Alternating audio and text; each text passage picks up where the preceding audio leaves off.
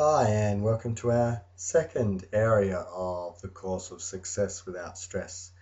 And in this area, we're going to talk about internal communication.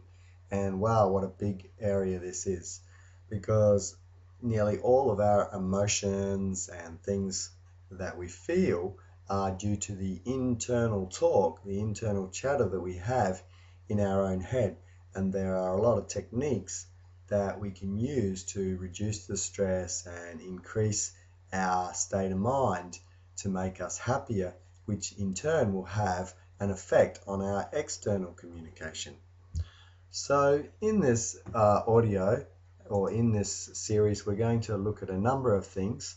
The first of which, of course, is stress and how to deal with stress. It's a fairly central uh, theme. You can't have success without stress, so we need to know what stress is and how to deal with it.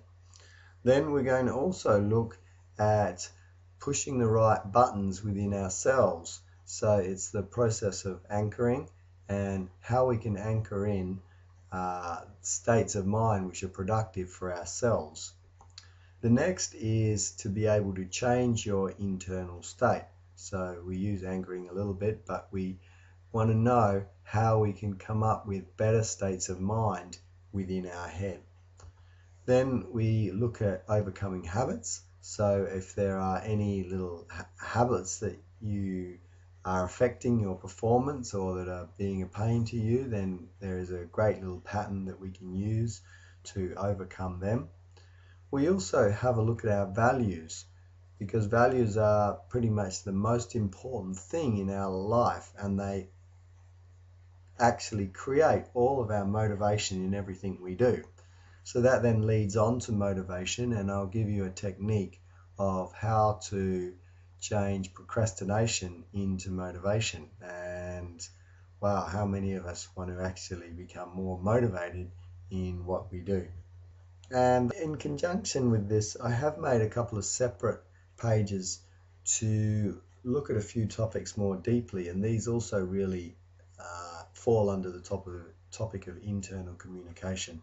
The first, and you'll see these buttons off to the right, is to do with depression and anxiety. So it's about stress, but it's when stress actually gets so bad it falls into depression and anxiety. And I recommend you uh, listen to those audios because it gives you an insight, a deeper into insight as to how stress occurs. And then the next one is to do with education. And this is great if you have kids, but is great for anybody who wants to learn how to learn. So we've got to know what techniques we can use to learn faster, quicker, more efficiently than we have before. And then the final topic is to do with business, and this relates to sales skills, leadership skills, and also in there, there's a topic on how to become an expert. So enjoy the audios.